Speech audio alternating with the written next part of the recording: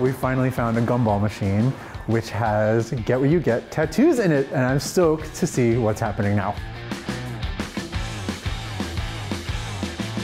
One Shot Tattoo is an awesome shop. They just celebrated their 20th anniversary. They have this amazing program that not a lot of other tattoo shops do. It's called Get What You Get. You get two quarters and you put it into a gumball machine. And inside are little plastic bubbles, each of which has a pre-drawn design. And whichever one you get, you get. The idea of this is actually really scary because what if you get something you hate? But you have to embrace the absurdity. It's $80 for black and gray, $100 for color, arms and legs only. If you don't like the design you get, it's $10 to re-roll. You want to do it? I want to do it, and I want to do color, please. Color, all right. Quarters? Yes. There you go. So I would have been happy with just about anything, but of course when Violet handed me the quarters to put in the gumbo machine, I started panicking a little bit.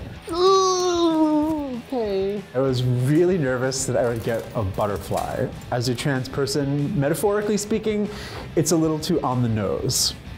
Oh my god. Is it a heart? Oh, it's a little devil. It was the devil! Yay! From then on, it was basically like a regular tattoo. Where do I want Satan? I think Satan needs to be kind of prominent, right? Like keep it like in line with Okay. Long Island here. Cool. So excited!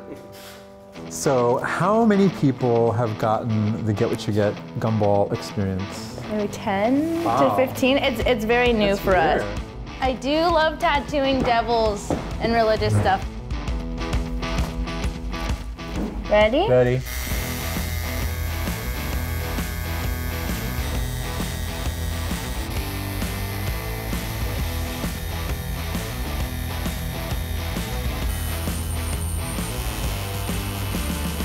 When I saw the finished design, I was like, oh, this is so cool. I can't wait to tell my dad.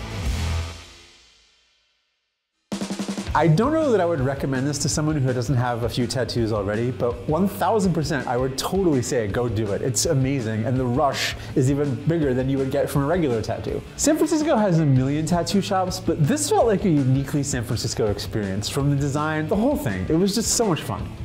I think I fucking lucked out.